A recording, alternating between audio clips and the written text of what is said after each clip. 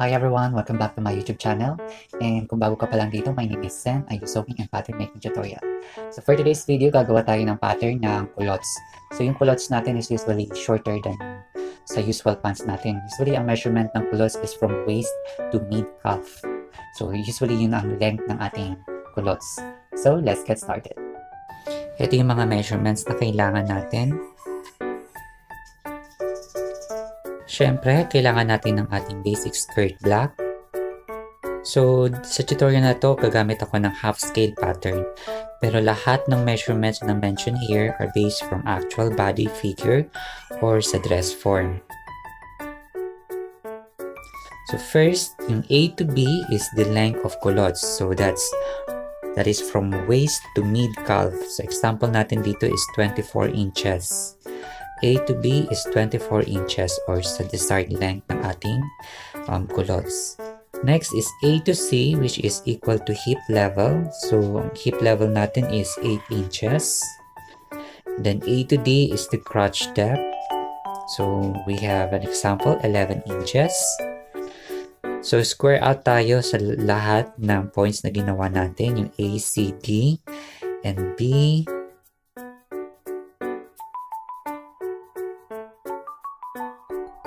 So, yung mga lines na yan is the waistline, hip line, crotch depth, and the hemline. So, next natin is to draw 1.5 inch na guideline sa para sa side seam ng ating skirt. So, sa both side ng AB line, gawa ka lang ng 1.5 inch guideline. So, kunin na natin yung ating skirt block. Then, yung side seam ng ating skirt, idikit lang natin siya dun sa ating guideline na ginawa.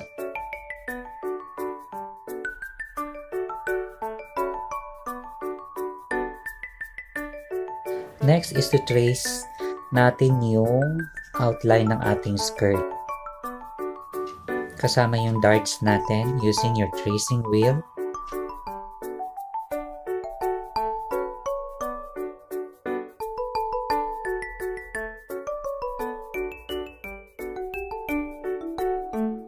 So, i-complete ko lang yung dotted lines na ginawa ko para makita nyo yung figure or yung outline ng ating skirt.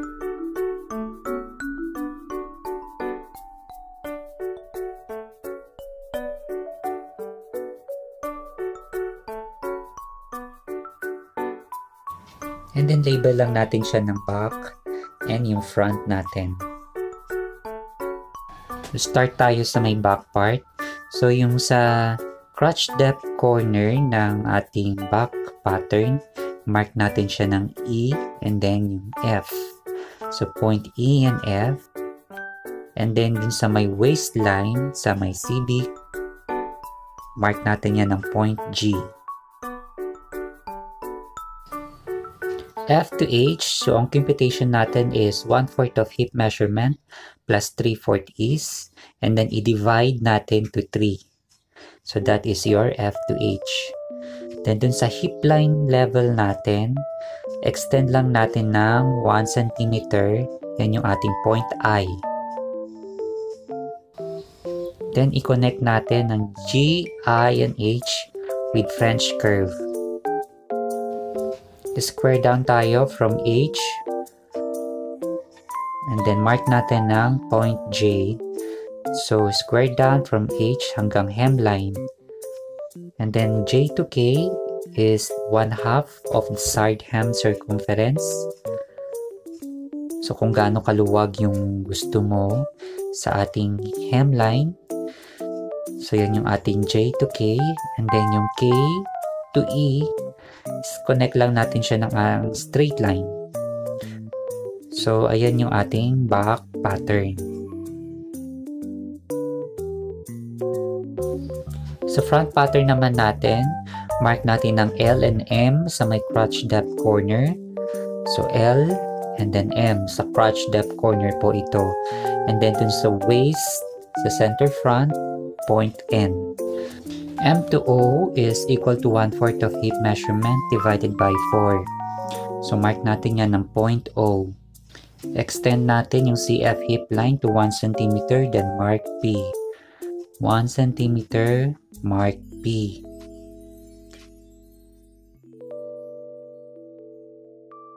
Connect natin yung N, P, and O with French curve.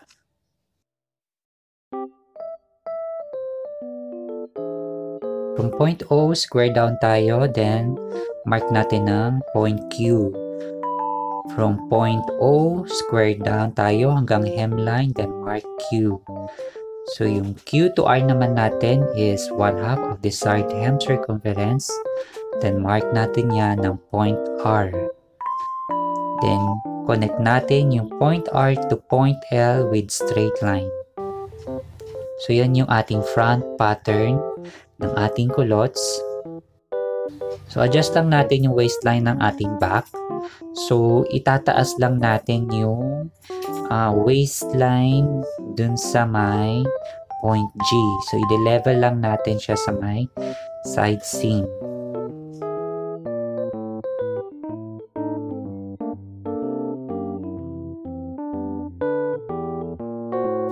Add natin yung mga sewing allowances.